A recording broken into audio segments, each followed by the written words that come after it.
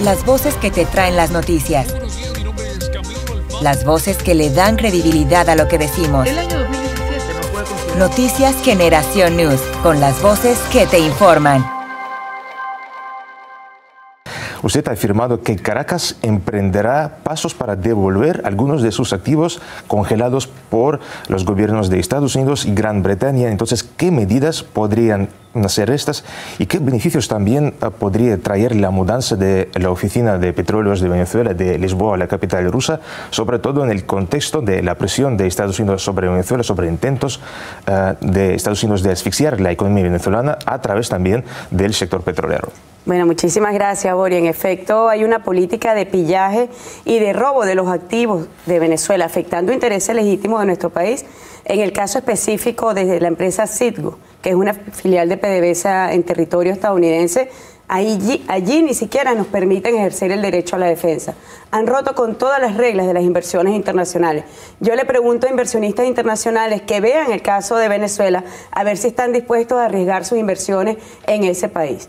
En el caso de Europa, donde han sido congeladas cuentas venezolanas, ya nosotros hemos iniciado acciones concretas, jurídicas, judiciales, hemos contratado abogados para la defensa de nuestros intereses y específicamente en el tema del oro que está secuestrado en el Banco de Inglaterra, también hemos iniciado los pasos para la defensa judicial de Venezuela.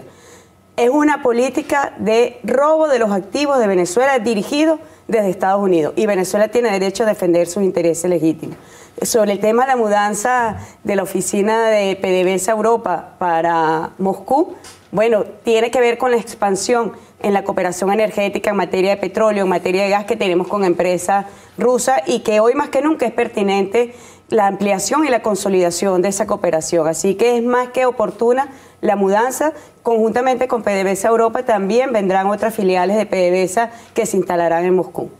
Y entonces vamos también a proceder al tema de Juan Guaidó, que también genera muchísima polémica si hablamos sobre Venezuela. Entonces, señor Guaidó emprendió prácticamente una gira por países latinoamericanos, así fue recibido, ah, entre otros países, incluso en Brasil y Argentina. ¿Qué cree usted sobre estas reuniones? Te voy a responder como venezolana. Como venezolana me da vergüenza ajena.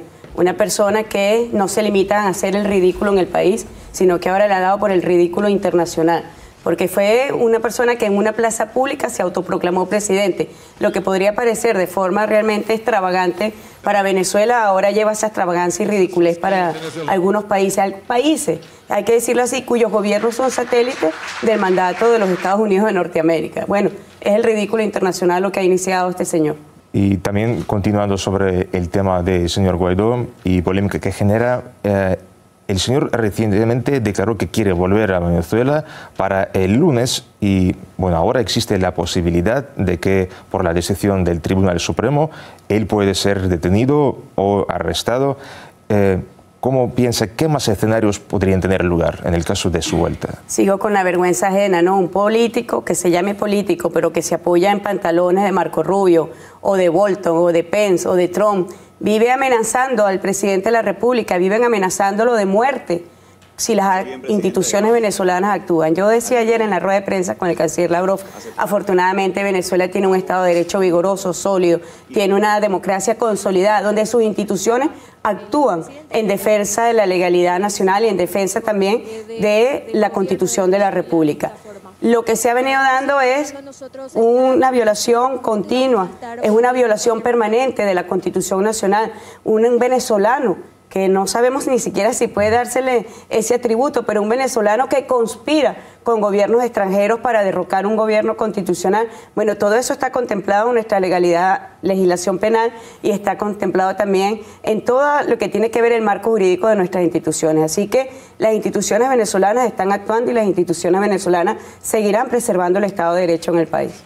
Pero se notan ah, ahora los intentos de desestabilizar aún más la situación. Porque ayer también en la rueda de prensa, Sergei Lavrov, ah, por ejemplo, y usted también ah, hablaron sobre ah, la ayuda humanitaria falsa. Y también es uno de los pretextos para presionar a Venezuela que no deja entrar a la ayuda humanitaria. Ahora también se registran estos casos de cuando intentan suministrar eh, algo ilícito, algunos instrumentos para derrocamiento de, del gobierno de Nicolás Maduro. Nada, nada nuevo, Boris. Sabemos que en la historia Estados Unidos ha enmascarado las falsas ayudas humanitarias para introducir armas a países donde pretendían derrocar sus gobiernos. Sabemos que en el caso de Venezuela es una falsa ayuda humanitaria. Si ellos de verdad, de verdad, quisieran ayudar a Venezuela, no la bloquearían económica, comercial, financieramente, no perseguirían a Venezuela por el mundo entero, no perseguirían sus alimentos, no perseguirían sus medicamentos para que puedan llegar a la población venezolana. Es una gran farsa, es la estafa del siglo, así lo he llamado yo, es la estafa del siglo, porque no busca ayudar. Y específicamente lo que ocurrió el 23 de febrero, el mundo entero pudo ser testigo de que allí no había medicamentos, de que en esa supuesta carga no habían alimentos, había materiales para la violencia contra Venezuela repito, nada nuevo, es el guion imperial y sabemos que quien está al frente de esta operación es de larga data en atentar contra los pueblos, en masivas ejecuciones, en, llevar, importar violencia a los países. Así que, bueno, este es un guion que se está repitiendo, pero que ha sido derrotado en Venezuela. Siempre lo hemos dicho. En Venezuela en el año 2014, 2017 intentaron la llamada primavera árabe. Fracasó en Venezuela. Y estos planes en Venezuela no se van a imponer porque el pueblo venezolano es completamente, profundamente un pueblo de paz. ¿Y cuál ahora es la situación interna? Porque sí hay diferentes grupos de contacto, hay algunos países que se ofrecen a ser intermediarios, pero dentro del país la oposición está lista a dialogar o solo quiere salir a las calles para manifestarse de manera violenta. ¿Quieren eh, buscar contacto o no? La oposición solamente quiere que Estados Unidos les haga la tarea. La oposición solamente quiere que Estados Unidos y un grupo de países de gobierno vengan a derrocar al presidente de la República, la Revolución Bolivariana. es lamentable, pero lo vimos, yo ayer lo decía en la rueda de prensa, el 23 de febrero, cuando varios este presidente, el de Chile, el de Paraguay, el de Colombia, Almagro, Abran, todo el mundo se trasladó a Cúcuta para intentar una grave provocación contra Venezuela que llevara a situaciones de violencia armada. ¿Dónde estaba un diputado de la fracción del señor Guaidó. Lamentándolo mucho, estaba con unas prostitutas, su asistente falleció porque fueron drogados, fueron asaltados. Bueno, y eso así, de esa forma pintoresca, terrible, retrata lo que es la oposición venezolana, que permanentemente quiere que le haga el favor. Permanentemente le dicen a Estados Unidos, por favor, derrocan al gobierno para yo llegar al poder. Y está muy equivocado, porque de ocurrir una situación de violencia armada contra Venezuela, de intervención militar contra el país, yo se los he dicho, ellos ni siquiera van a ser los cargamaletines de los marines. Las, las bombas le van a caer a ellos por igual. Y por eso la necesidad de sentarse en una mesa de diálogo, de resolver los problemas entre los venezolanos sin impostura de fuerzas exteriores. Señor Rodríguez, la última pregunta. Ya parece que ah, la región está en un callejón sin salida porque intentan presionar, ah, están recibiendo a Guaidó y también Estados Unidos está introduciendo diferentes sanciones. Así recientemente ha introducido sanciones sobre ah, los funcionarios venezolanos, aunque sí ahora se percibe prácticamente con ironía estas sanciones porque obviamente no han tenido el efecto que querían. Y entonces, ¿cómo salir de ese callejón sin salida? ¿Se podrá ah, hablar sobre alguna tranquilidad en el próximo futuro? ¿Cuánto tiempo va a durar Estamos nosotros garantizando la paz en Unión Cívico-Militar. La jornada del 23 de febrero demostró que la Unión Cívico-Militar en Venezuela sigue siendo vigente la defensa de nuestra independencia y nuestra soberanía. Bueno, tendrán que volvernos a sancionar a todos, porque ya ellos saben que el camino de la sanción no nos va a doblegar. Tendrán que reimponernos sanciones a los mismos, reimponernos sanciones a todos, porque ya todo el pueblo de Venezuela ha sido sancionado. Las sanciones económicas y financieras, el bloqueo financiero que hay contra el país, afecta a toda la población.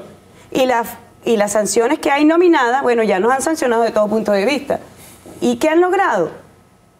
Heridas sociales en nuestra sociedad, heridas socioeconómicas, pero han logrado doblegarnos, no han logrado doblegarnos. Ahí tuviste que el 23 de febrero el pueblo estaba organizado. ¿Para qué? Para defender al país. Así que ese no es el camino. Ese no es el camino. Estados Unidos va a tener ya en, su decadencia histórica, en su decadencia económica, también hay que decirlo, porque buscan imponer la vigencia de una moneda que no tiene ningún tipo de respaldo. Va a tener que buscar definitivamente caminos que le permitan incorporarse al nuevo mundo. Un nuevo mundo encabezado por Rusia, encabezado por China, encabezado por quienes creemos profundamente en el respeto en las relaciones internacionales.